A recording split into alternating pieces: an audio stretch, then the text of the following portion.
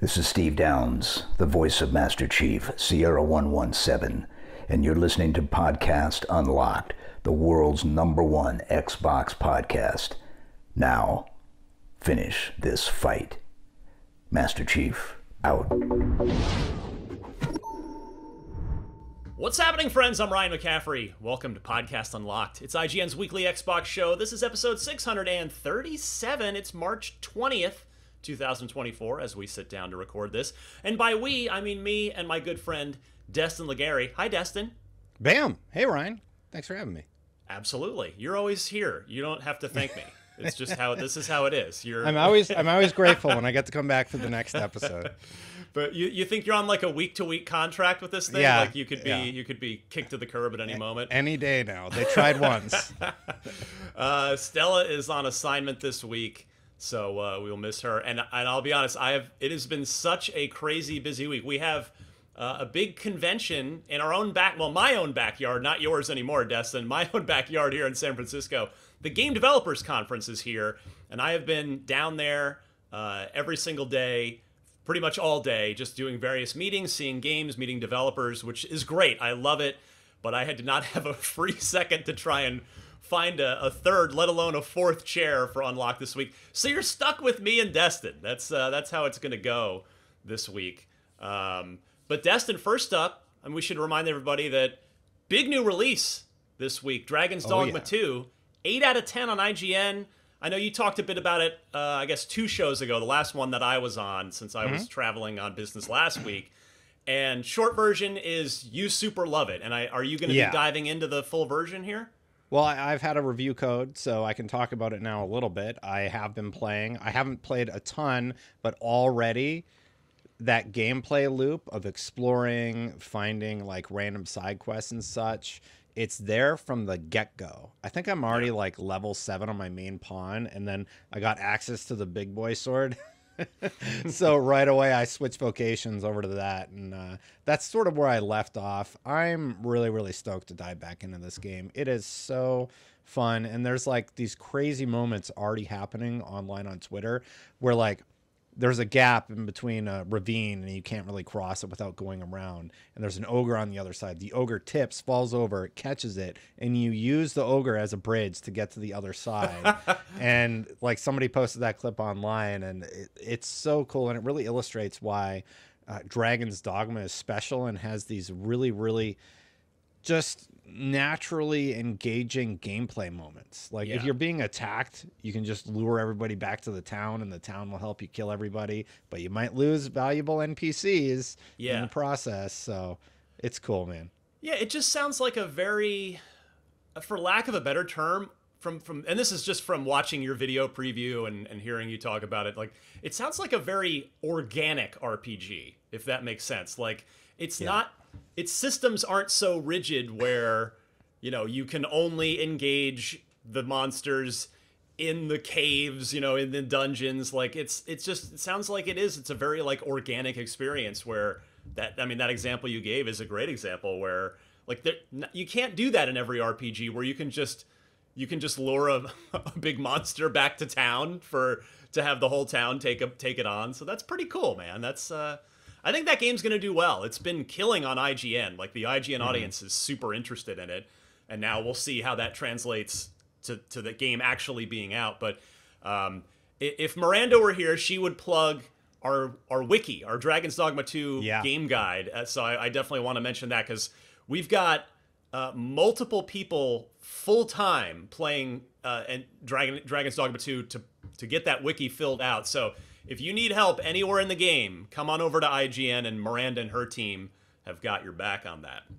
That's a really great way to put it. You said earlier it feels really organic, and part of that is there's no loading. It's just seamless transitions into towns. Like when you go into a town, it's not like a loading screen. There's no loading screen when you open doors, and that really keeps you immersed in whatever you happen to be doing. There's also purposeful uh, missions that make you walk from point A to point B. There's not really a fast travel system.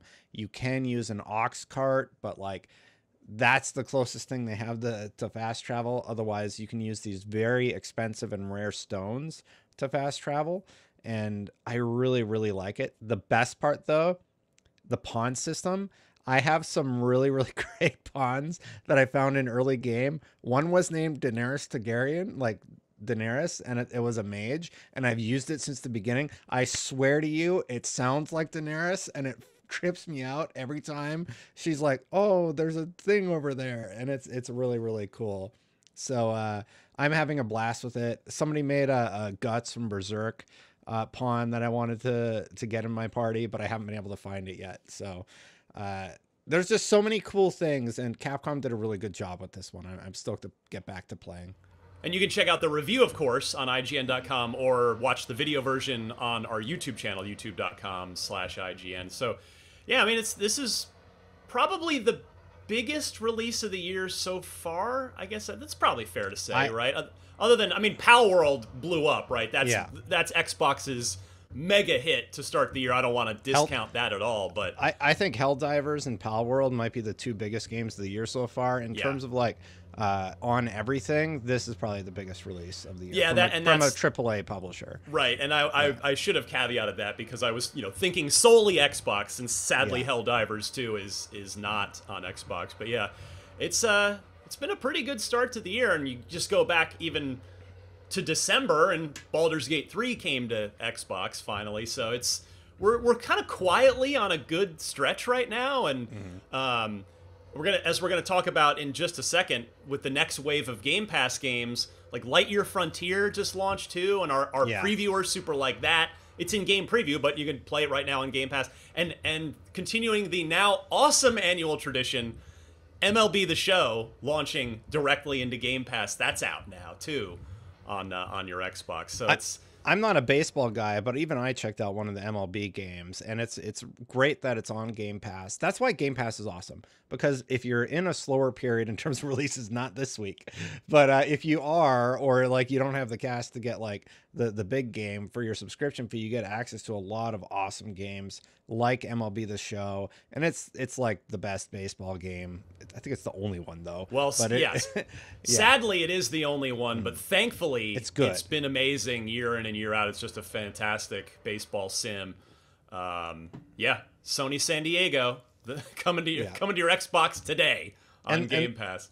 And there was that other game coming to Game Pass soon. Ah, what was it? Uh it's a a lady. little a little a little game yeah. with uh where there's like a devil in it or something? Is that yeah, the one something you're, you're like that. about? i can't remember.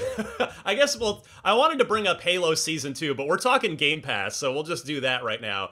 Uh, the next wave of game pass games the sort of wave 2 for march and then a little into april has been announced basically for the, the rest of the month is, is here's what's coming up. And it's and, I, and, we talked about this like two weeks ago. The, the first wave like march has been a phen- I would argue, like I said last time, maybe the best wave ever last time, in my humble opinion, and now combining it with the Wave 2 games we're about to talk about, I would call this the best overall month for Game Pass ever. Uh, maybe, yeah. you know, it's not, there's not like a Starfield in here in terms of mega blockbuster games, but the, the just consist, well, there is, I guess, Diablo 4, but, but that game's been out, big. it's been out for eight, nine months now. Yeah. Uh, day one mega blockbuster. Got so it, see, got it. you gotta you gotta throw so many caveats on. That's what I'm saying. This has been a probably the best month ever. So uh, we talked about Lightyear Frontier, which is a chill uh, farming sim, but you're you're in a giant mech. Uh, which again, watch the video preview, and I, I think actually we have a review now, an early access slash game preview review on IGN now. If you want to go check that out, so that's a nice super chill game. We talked about MLB The Show 24. Uh, the Quarry, if you are into, if you want to play like a sort of semi spooky teen teen drama, uh, like you know, I know what you did last summer, but in video game form. It's from the developers of Until Dawn. If you're if you mm. played that on the PlayStation, so that's you know it's it's, uh, it's sort of a spiritual follow up to that. Uh, Evil West, which was, as I remember, pretty decent. Uh, yeah. That is to, tomorrow. Well, today as this episode releases, March 21st. We're recording on the 20th. You're hearing this on the 21st or later. Uh, Terra Invicta, another game preview game. That's PC only, so that's going to be on March 26th. Uh, and then moving out a little bit to the 28th of March, we have Hot Wheels Unleashed 2, which reviewed really well on IGN. our resident uh, racing game aficionado slash expert Luke uh, Luke Reilly gave it. I think he gave that an eight, um, if I, if memory serves. So that that one had game. turned out really well. Open Roads, if I remember right, that's an adventure game, cloud console, PC. So that's all any any and all Game Pass devices there. Also March 28th. Uh, Destin Ark Survival Ascended, Mm-hmm. which there were some false starts on the release dates to this, but uh, for Xbox, Yeah. but it's out. It's on cloud PC and Series X and S. And uh, remind me, Destin, this is it's the it's an Unreal Engine 5 remake of Survival Evolved. Do I have that correct? Yeah, and I'm pretty sure you can't buy the base survival evolved. Don't quote me on that, internet, please. But like, I, I'm pretty sure there was some hubbub about the servers or something. But like, people were a little unhappy about how this was handled. But having not played the originals or anything and only playing this one, uh, I, I had a good time with it. I played on PC when it came to PC, and uh, you know, you hunt dinosaurs, then you it's a crafting survival game. So Yeah. you start out, you build out your mud hovel or your thing out of twigs, which is what I built, and then you hunt the dinosaurs and you get cool armor, and then you sort of rinse and repeat that formula. And yeah, it's as good as any other crafting RPG that I played, and especially with cheat codes, it gets really good. I mean, you I get, like, the cool remember- spacesuits. I remember when this was first launching into well, when Survival Evolved, not this, when the original version of the game was first launching into Xbox Game Preview. It was a long time ago now. I don't have the date in front of me, but uh, I remember one of the developers coming Years. in, and we did a Let's Play uh, that I, that it's I'm I'm in it. It's on the YouTube somewhere. It's on IGN somewhere. And I just remember like the the game, the ideas of the game were really cool, but it was so rough and so early back then at the beginning of its of its game preview slash early access life. And now you've got a fully finished Unreal Engine 5 remake of the game. So uh, if if the idea of Ark Survival Evolved appealed to you, but you never played it for whatever reason, well, this is the best iteration of it, and it's right there in your Game Pass sub. So grab it and enjoy that on April 1st. No, it's not a joke. It's just that's the real date, April 1st, even though it's April Fool's Day.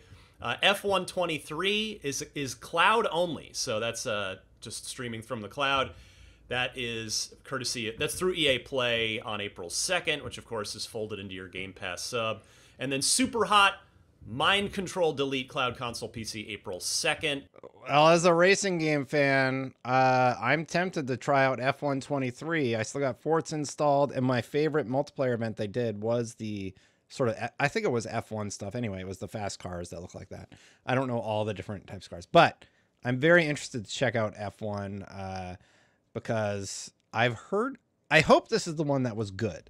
Because I had yeah, this is heard- Codemasters, which you know EA bought, so it's under the Mm-hmm. EA label. But yeah, it's you know Codemasters does good stuff on the racing front. yeah so kind of interested in checking that out a little bit more uh, excited also to see the next game you're going to talk about Yeah, Diablo 4. That's the last one. That's the the biggest thing on the list here in terms of uh, just name recognition and big blockbuster game status.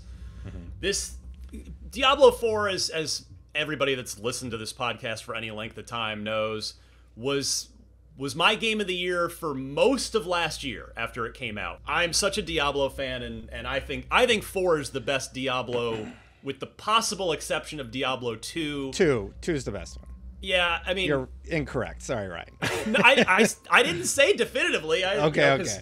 Because I'm with you. I mean, Diablo 2 has has always been in my personal top 10, maybe even top five games of all time list. Just my own personal list, and Resurrected- really good. resurrected also had a bumpy start but it is a very very good diablo remake so if you haven't played Yeah. 2 play diablo 2 resurrected Agreed. Yeah, super worth. I mean, hopefully we get that in Game Pass at some point as as uh, Microsoft continues to integrate all of the Activision Blizzard King stuff into the portfolio proper. Um, Yeah. But for now, yeah, you have to. That is just a regular regular pr- game you pay money for outside of a subscription. But uh, yeah, Diablo 4. So console and PC uh, for your Game Pass sub, and so that's coming on March 28th, which is one week from when this podcast publishes. And I, how much time did you did you put end up putting a lot of time into the final version, Destin? Well, so my journey with Diablo started very positive. Like it started out with that the first season initial I was running uh, sorcerer and I was like wrecking shop, figuring out my build and everything. I was doing Arc Lash at the time, I believe was the build. And um, I had played Diablo Immortal before that. I was like, I had played Diablo 2 Resurrected, and I was like really excited for this release. So season one hits, and the only problem that I encounter with Diablo is that first patch really, really soured community sentiment around the game, and Yeah. then they just never really bounced back from it. Like season two was kind of good, then the next season wasn't, and I, I'm hoping they fi- they figure out their stride with this game because it has been struggling since then. All of that said, the fact that it's on Game Pass, like you have like a hundred hours worth of game time Easily. before before you start hitting any sort of the the challenges that I think the high level gamers end up facing. Maybe a hundred's being generous, but like thirty hours. I No, put in a that. lot. Yeah, I put in a lot of plus. time. I put in a lot of time in Diablo, uh, grinding out my characters to level, and it's still a really, really fun game. There's a lot of improvements that I that I hope that the the team can make, and they can come back like you know Adam over there plays the game, Rod plays the game, and I I yeah, I'm not sure quite what is missing in the end game for the community, but it, it hasn't managed to retain that end game. But I hope that doesn't turn people off from giving it a shot on Game Pass because there is a lot of fun to be had, especially in that early ramp up to 50. I think it's 50 and up Yeah. when you start kind of hitting that, And that uh, wall. And that's I think worth emphasizing is like your your point is well taken. The community is is continuing to kind of give a lot of feedback to Blizzard, but even if you only and I'm using heavy air quotes here for our audio only listeners, Yeah. oh, even if you only just play the campaign, which will take you roughly to level 50 or so, mm-hmm. it, it it's you're looking at a good 30 to 40 hours of just in my experience game of the year caliber gameplay for that for that Yeah. campaign run. I I adore this game so much and it's it's awesome that it's on Game Pass now. It's I mean it, I I can't imagine this won't bring in a ton of new players that uh, that you know have that just didn't pick it up last summer or last fall for whatever reason. So Here- yeah, it, well- it's awesome that this is in Game Pass. Yeah, Diablo is def- always going to hold a special place in my heart, especially uh, Immortal, even with its controversy with the microtransactions, and for why? Because they turned me on to the ARPG genre. So now I'm playing Last Epoch. I'm playing Path of Exile One. Uh, I'm about to do a preview for Path of Exile Two, and there and it's just a genre where you get really into the minutia of Yeah. of movement with your characters and how all of that plays out and the pros and cons of all the different ARPGs that are out there on the market and it is it is just so fun building up your character in these games and then taking on a tough boss and figuring out a cool build that just melts them to the ground and uh, you know whatever happened with Diablo 4 happened and I, I am happy that it just really opened my eyes to how great this genre can be And and yeah, I mean, you mentioned you know like our our friend Rod Ferguson, the unknown. His whole reputation in the industry is as a fixer who gets things done, gets them shipped, and and they're good things usually with with his resume. You know, he's he's overseeing the entire Diablo franchise, and so it's eh, this is the long tail looks very promising on uh, on Diablo, but like I said, you don't even you don't, you can enjoy the heck out of it without even worrying about the long tail of the game if if you want to. Um, but yeah, I'm right there with you. I've I've always loved Diablo, and um, a recent one for me was, which I think I talked about when I was last here two weeks ago, was No Rest for the Wicked. That's uh, that's another promising one coming up from the the developers of Ori, uh, the the uh, their new action RPG coming up. So that's that's not, I don't think that's going into Game Pass, but it's coming up. So if you need another action RPG to to get hooked on, Destin, that one's that one's coming up. Yeah, and uh, you have Superhot on the list. That looks really good. Yeah, this game. Uh, what was this called again? Uh, this, This is? No Rest for the Wicked. Yeah, this one's also really cool. Man, there's a lot of good games right now. And it's just so refreshing to see so many options out there for gamers. And uh, yeah, uh, it's a little hard. I think uh, once I get my work stuff done, the next games I'm going to be focusing on are, uh, well, I'm going to be playing more Path One, and I'm going to be playing uh, dr- a lot of Dragon's Dogma once I can get back to it, and then you know whatever the the hype thing is from Xbox, because like we still have all these games coming this year from Xbox. Like I think Stalker Two is still slated for late this year, right? Yeah, September. and yeah, and we still have Avowed slated for this year, which which I'm curious about. Um, and Indie. Indiana Jones, That's of big- course, and then of like course Hellblade in May. yeah, Hellblade in May. Like Xbox just has a killer slate this year, so I'm very very excited for all the gaming goodness that we're all going to be able to play in 2024. Indeed, well said. Let's talk a little. Let's do a Halo block here. I want to. I've got a, a Halo Two story, a Halo Infinite story, and let's just start. Destin, I, I'm going to put you on the spot. Yeah. Have you been watching the Halo TV show at all for in season two? I'm. What episode is the last one that aired? Because I think So- I'm caught up. Seven. We're waiting for the finale now. Okay, I haven't seen seven, but I've seen through six. Okay.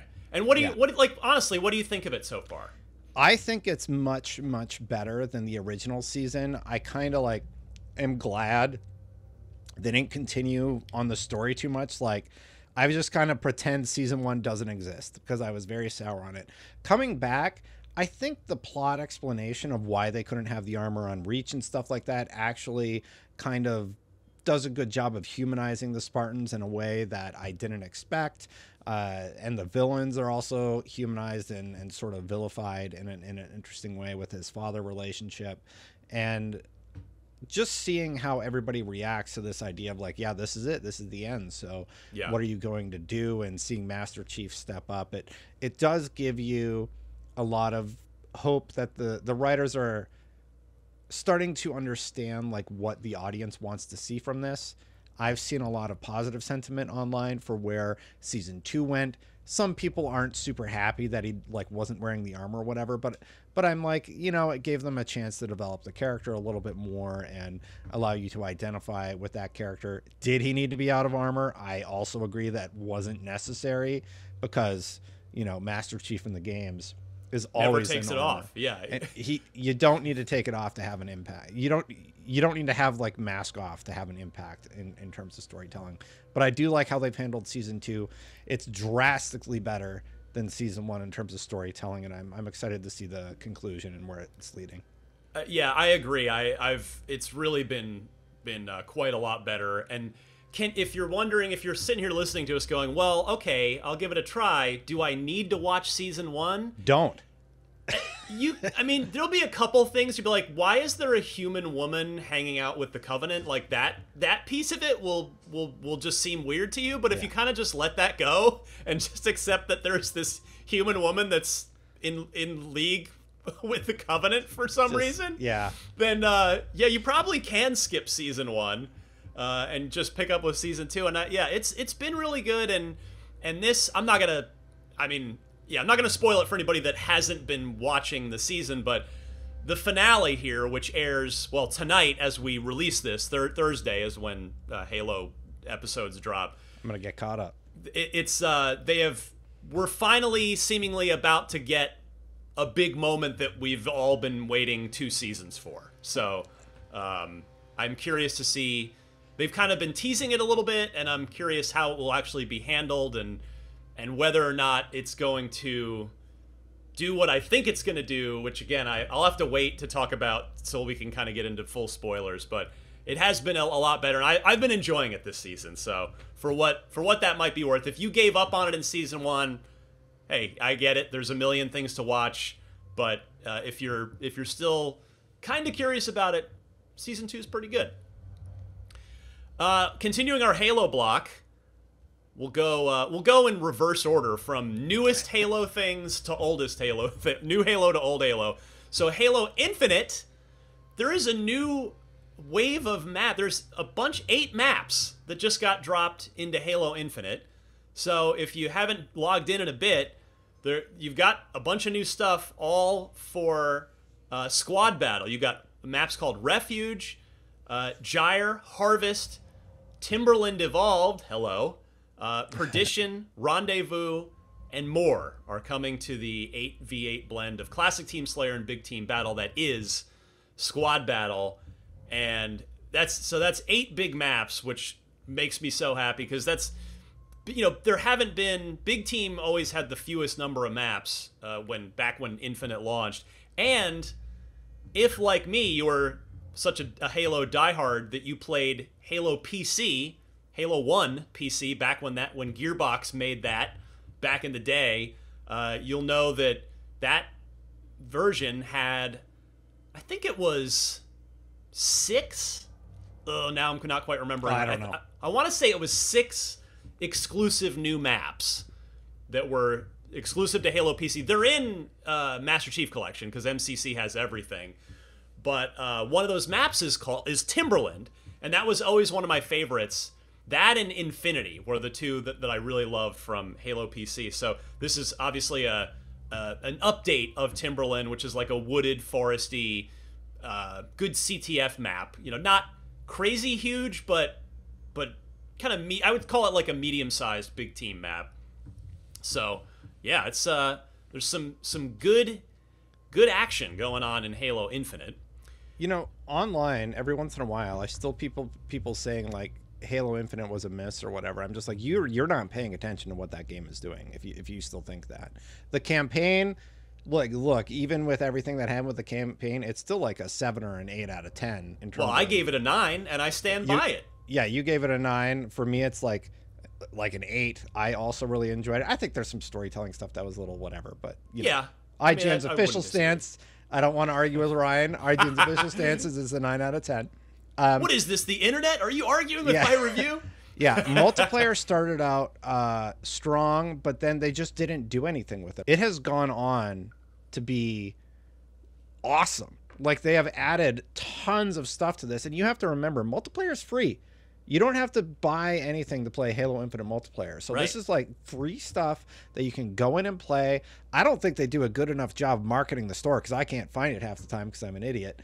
And if I'm, and I'm probably representative of at least some percentage of, of the audience, but um, I don't buy stuff in stores anyway. But anyway, my point is, it's free. You don't have to buy anything. You get access to all these maps. You get access to all of the different modes that they have in this game. And it's a ton of fun. I mean, I've been playing since the first season. So I've seen the ups and downs of it when it was getting a little dry around. I want to say season two was probably the lowest point, and then Yeah, the end of you know, season one, right? People were kind of yeah, it was sort of like, all right, like that's it. And then, you know, there were the layoffs at 343 and everything. And then they're just like knocking it out of the park with all of these additions that they've been adding lately. And it just seems like it keeps getting better every time they add a new thing. I. I haven't played since like season season five. I need to get back in. There have been so many additions to Halo Infinite multiplayer that I'm I'm excited to get back in and get playing again. Uh, just kudos to 343 for supporting this game, and you see people talking about it who are big Halo fans online and saying, "Hey, like Halo Infinite's great. It is great, and if if you're not playing, you definitely need to check it out if you're a Halo fan." and and uh, I'm glad you kind of reminded everybody that it's that it's free because it's I think you know I just take it for granted at this point because I reviewed the game and uh, but it's like yeah it's if you only just got a Series X not you know in the last year or so just you don't even need a game it's not even a Game Pass thing like you can get if you have Game Pass sure you can play the campaign but if you don't even if you don't have Game Pass Halo multiplayer is still free it is completely Yeah. free to play. So, and now there's a ton of stuff there. So enjoy that. Um, this one is for my fellow olds, for who love Halo 2. This is such a cool story this past week. Halo 2's original Xbox Live multiplayer servers are coming back online thanks to a fan project. Those fans are behind the project Insignia, a free, unofficial, original Xbox Live replacement that is dedicated to reviving the online multiplayer component for the original Xbox console. The official uh, Insignia social media account posted this week that it was launching a public beta to revive the Halo 2 servers. The public beta will include 10 multiplayer matchmaking playlists. They are kind of all the hits Rumble Pit, Double Team, which is two on two, Team Slayer, Team Skirmish, Team Training, Team Snipers, Team Hardcore, which of course is, uh, you know, that's that's that's one of the favorite ones. SWAT I always loved in all Halos. Um, Big Team Battle, yes, and H2 Challenge. So uh, the announcement goes says our IGN write up on this even caught the eye of our friend Max Hoberman, the original lead designer of Halo 2, who uh, said, For all aspiring time travelers, very cool. I'm curious how much functionality they'll be able to replicate.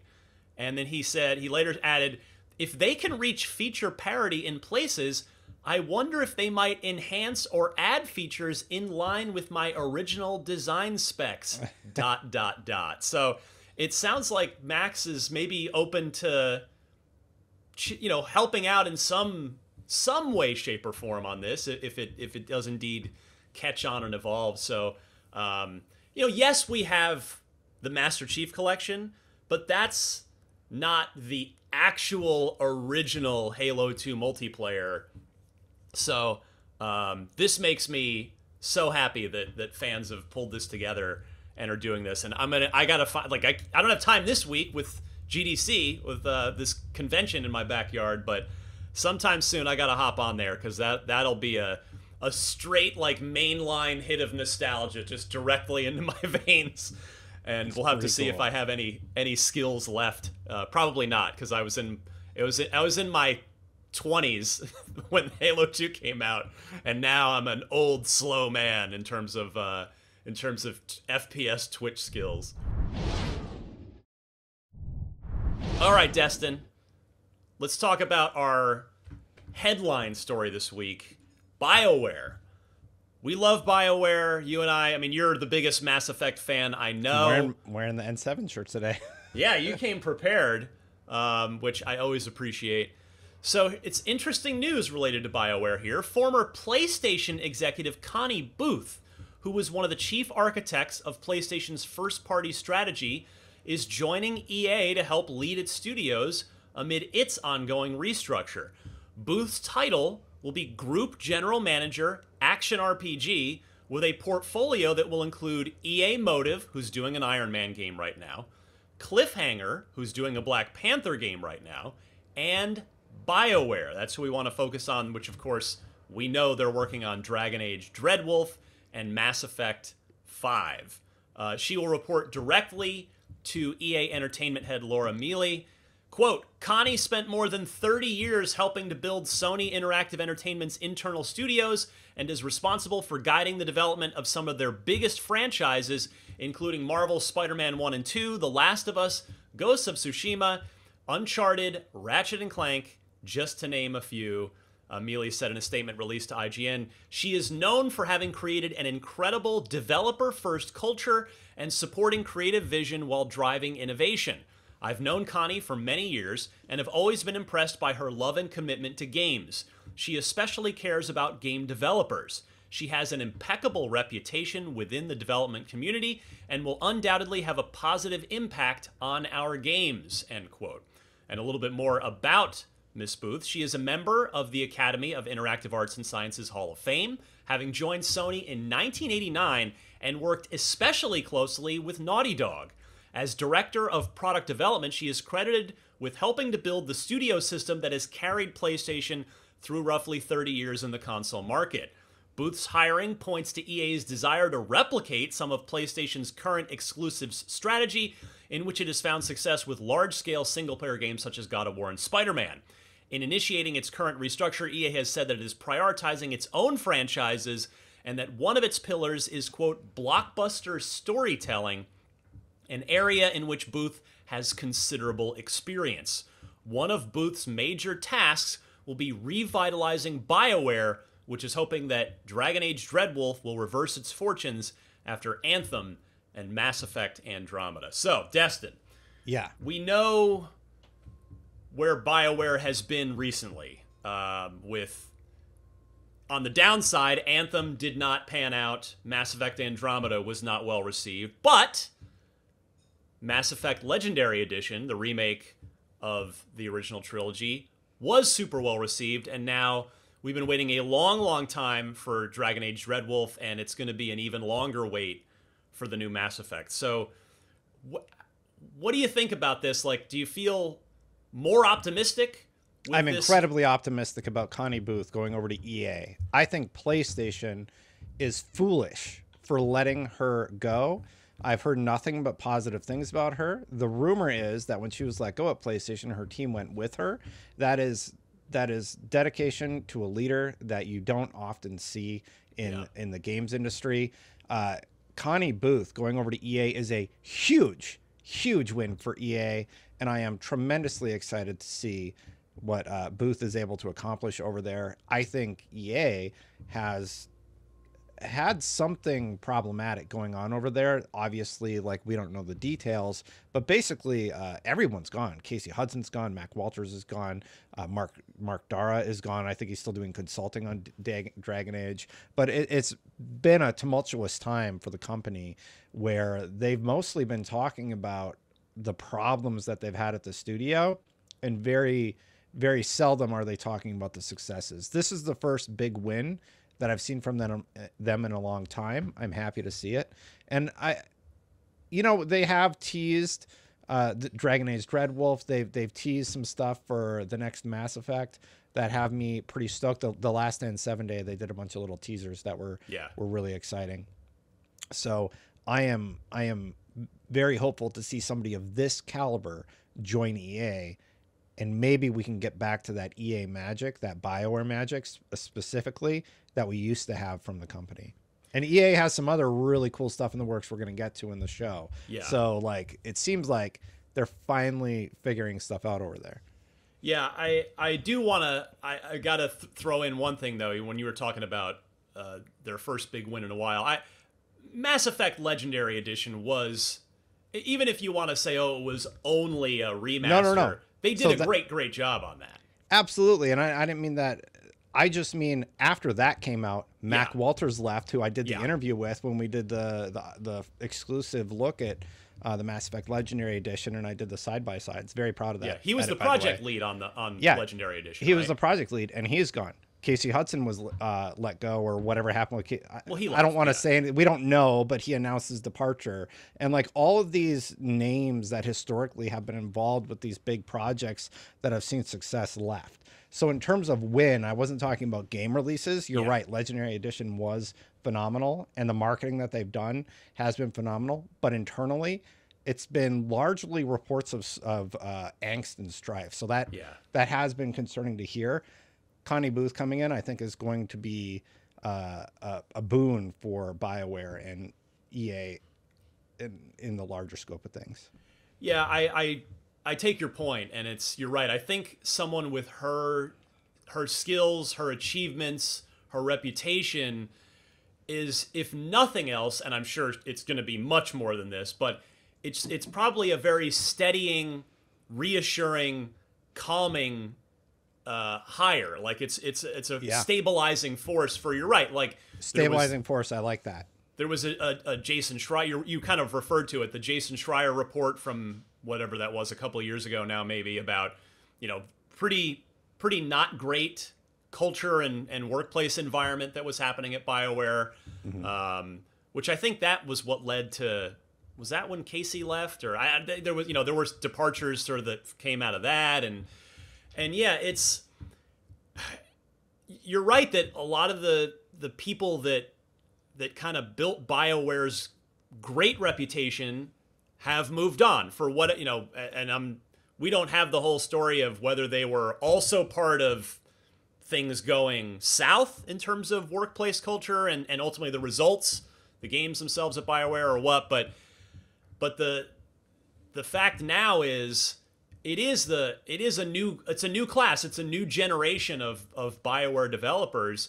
And we've seen this work before where you know you can a new generation can come into a studio that that has a decorated history and they can produce awesome stuff. I mean the you everybody by now listening to this knows the example i that i always point to first is id software with doom.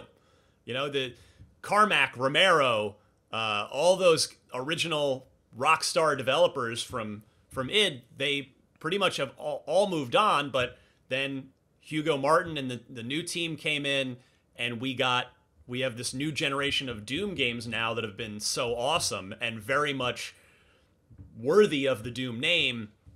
And that's what we're looking for now out of Dragon Age and Mass Effect, right? It is not going to be made whether you know whether you like it or not. It's these games are not being made by the same people that that made the original Dragon Age and Mass Effect games that that we love. So the question is, can this new generation of them make something equally awesome for the 2020s? You know, because as you know, Destin, it's games gamer expectations change, technology changes. Mm-hmm. Like if you went back and played Dragon Age 1, like Dragon Age Origins right now. I have. It's hard to play. yeah, it, it's and it's not because it's a bad game, it's just it was a game of its time and time moves along. Yeah. Um, even, even, even like a game you like the original Splinter Cell, same same sort of thing. You go back, it's just like the everything feels sort of clunky and yeah. and uh, yeah. obtuse. That's true. Yeah, you're absolutely right. So um, having Connie Booth, who again knows she just she's she has built helped build and helped lead successful teams for so long. It, it really it is it's to me as i mean i'm not a developer obviously. I'm not working at on, at bioware but as a as, as a fan of bioware's games particularly mass effect it is reassuring to me that like okay she's gonna she's gonna steer them down the right path. Um, now you still need talent which, you know, this new generation, and I'm not saying this critically, but I think it's fair to say they haven't proven themselves yet, right? Because we haven't seen a game from them since that the old guard walked out the door, right? That's mm-hmm. so it, it remains to be seen. If so, you need the talent, you need the time, you need the tools, and you need the leadership. And so hopefully all those things are coming into place now. They they seem like they have the time because Dragon Age Dreadwolf was announced years ago and is we're still only just yeah. gonna get the gameplay reveal this summer. Was that was what we were promised um, whenever that last little update on the game was. So that means that game's probably not even out this year. If it's if yeah. we're only getting the gameplay reveal this summer, uh, meaning I mean if I if I were a betting man, I would say that this summer means uh, that they're aiming to reveal it to do that gameplay reveal at Geoff Keighley's Summer Game Fest, you know, showcase slash live stream thing. Um, and yeah, then Mark, Mark isn't there anymore. yeah. So like the footage we're seeing on the on the video, it's yeah, like people you, who, to your point, right? Yeah. Um, yeah. and then I don't Mass know Effect. Mass Effect is we know it's it's even further it's further behind Dragon Age, so who knows how long it's going to be before we see uh, Mass Effect. It's but this is this is all very reassuring, and um, I I've definitely from what I hear, this has come as very welcome news inside of Bioware. So That's that good. should hopefully make people feel good too. Um, because yeah, it's we want Bioware to get back to what they were, and and to your larger point, Destin, about EA, like we we want to see EA get back. Like EA used to be one of the most reliably awesome publishers. That they absolutely were. That I know they've in more recent years had this reputation of being terrible, and a lot of that was was uh, Work if you want to call it well earned. Yeah, was yeah. they brought it on themselves with a lot of microtransactiony stuff and and the the sort of their practices. But I, I do think it's fair to to at least say EA seems to be trying to move in the right direction. It's just you, it takes some time. They can't they can't fix things with one game, uh, you know, one release, but we got Mass Effect Legendary Edition and it was fantastic. It didn't have any hooks for any microtransaction nonsense in it. Uh, and we got the Dead Space remake, the same thing. That was just a great, yeah. great game, great remake, great single player only experience. So, you know, Dragon Age Dreadwolf should be the single player only RPG, and so should Mass Effect. So, it seems like things are hopefully moving in the right direction that that Connie will will help make sure goes in and stays in the right direction, it's, right? It's a it's a great hire. Uh, speaking of Great some of the most talented, yeah, great hires and some of the most talented women in gaming, Amy Hennig, who of course uh, ma- built her reputation also at Sony at Naughty Dog. Uh, although, actually, go ahead, Destin, say it. Legacy of Kain. yes, she made Uncharted. Who, whatever. Legacy of Kain. She was the lead writer on the Legacy of Kain franchise. I think somebody else worked on uh, the first Blood Omen, Legacy of Kain Blood Omen, but like the the game really caught on with Raziel and the the intermingled relationship between those two characters. Um, yeah, uh, huge fan of her work. I don't think anything that I've played that she has touched has been phenomenal. Like everything she she does is great, and I'm I'm very excited to see this, especially after that footage we got today. Yeah. It looks so so good. Yeah, let me set it up real quick. Uh, and so at at GDC this week, every GDC, Epic, who of course makes Unreal Engine and supports the tool set for developers that license that engine, they do a state of Unreal briefing, like a like a live stream where they show off the new tech that they're working on. Um, going back many years, the original test, what kind of was the test footage for Gears of War, was in that. That's how long they've been doing State of Unreal. Um, there was a, you may remember the Meat Cube, which was like a, a little, it's like a, a, a tech, tech tech demo for uh, I think for Gears, Gears. Two. As Gears, yeah. Yeah, was uh, that was from State of Unreal. Anyway, at State of Unreal today, as we record, so this this week at GDC, Amy Hennig's Marvel game was officially announced. We knew a few details about it from last year, but we now we know it's called Marvel 1943: Rise of Hydra, set during World War II. Which that piece we already knew. Great And- premise. What a great Yeah. premise. and it's gonna be it's gonna be cup, t- two different stories captain america and black panther and we got a first trailer which you're if you're watching us on video we're we've got running for you right now It looks Uh, like a movie. it's so yeah it is insane looking it's doing it's it's wielding all of unreal engine 5's tricks like like uh nanite and and what is it lumen i think is the the, the two Nanite, sort of- Lumen, metahumans, yeah. yeah. Uh, you know what, Destin? Please take it away here. I've, I've been talking a lot, and I can tell you're just Well- e- eager to, to talk about this. Well, I mean, really, at the end of the day, the technology is really, really cool. They showed off. I just caught glimpse of it, but they were showing like, here's how we've changed dirt in the game, and here's how we changed snow. But then they showed this trailer, and utilizing the technology that Unreal has been working on for years, I am absolutely blown away by this gameplay tease that we have. And at first you're like, oh, you know, we all think of Cap from the movies, but when you see it all in action and play out in this trailer, it works so, so well. And the actors are really knocking it out of the park. I don't know these actors. I haven't heard of them before, but I'm I'm like really invested in their intermingled relationships and how it's all going to play out. Obvi- obviously it's T'Challa with his his goals and Cap with his goals, and they're superheroes, so they got to punch each other a few times before they work it out and work together.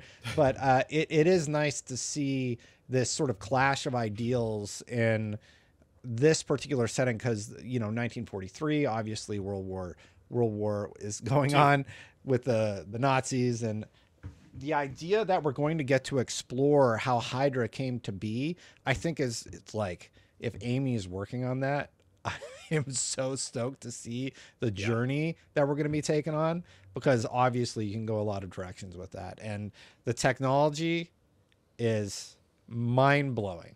Yeah. It, it does look like now a lot of people are like, oh yeah, it's cutscenes. Cutscenes are easy. I don't think it's all cutscenes. I think there are brief snippets of gameplay in there, but Oh yeah. Don't well, quote but this is that. what it looks. like. I mean, this is it looks incredible, and that's when I. f- So I'll be honest. When I first heard that that Amy was doing a Marvel game and a Star Wars game, by the way. So think about how crazy that's going to look because you know Mm. it's going to run on the same tech. Uh, that she was doing. She'd buy signed on. wi- Frostbite. yeah, she'd signed on with with Skydance. That's the publisher that's doing this. And Skydance has made some video games, but they're if you look at like if you look at their their uh, roster of it it's nothing that we would probably consider AAA in terms of production value.